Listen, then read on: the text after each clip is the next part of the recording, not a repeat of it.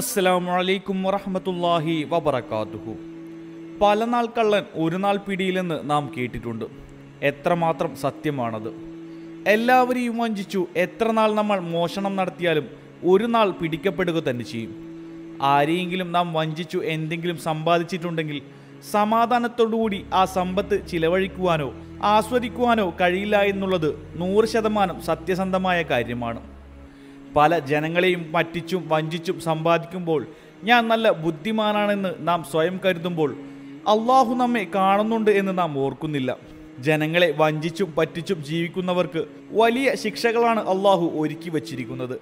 ആ ശിക്ഷകളെക്കുറിച്ച് ഓർത്താൽ നമുക്ക് ഒരിക്കലും ആരെയും വഞ്ചിക്കാൻ സാധിക്കില്ല. ആരെയും പറ്റിച്ചു സമ്പാദിക്കാൻ സാധിക്കില്ല. ഈ കാലഘട്ടത്തിൽ പണത്തിനു വേണ്ടി എന്തും ചെയ്യാൻ മടിക്കാത്ത നിരവധി പേരുണ്ട്. ചെറിയ പണത്തിനു വേണ്ടി ഒരു കുടുംബത്തെ മൊത്തം കൊല ചെയ്ത സംഭവങ്ങൾ വരെ നാം കേട്ടിട്ടുണ്ട്.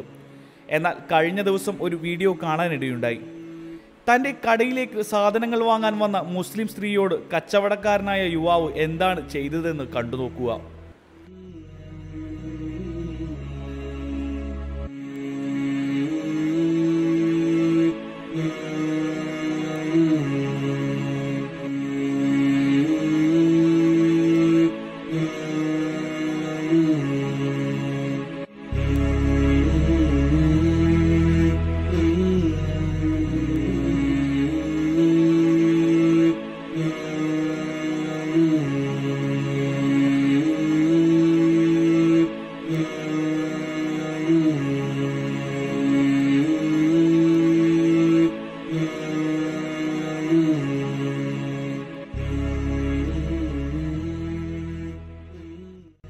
മറ്റുള്ളവരെ വഞ്ചിക്കുമ്പോൾ താൻ ഭയങ്കര ബുദ്ധിമാനാണെന്ന് നാം സ്വയം കരുതി അഭിമാനിക്കുമ്പോൾ അള്ളാഹു അവനെ കാണുന്നുണ്ട് എന്ന് നാം ഓർക്കുന്നില്ല.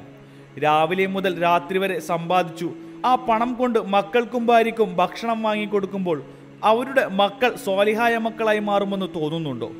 അള്ളാഹു ഹലാലായ പണം സമ്പാദിക്കുവാനും ഭക്ഷിക്കുവാനുമുള്ള തൗഫീക്ക് നമുക്കെല്ലാവർക്കും നൽകട്ടെ. അറിയാതെ പോലും ഹറാമായ പണം നമ്മളിൽ വന്നു ചേരാതിരിക്കട്ടെ.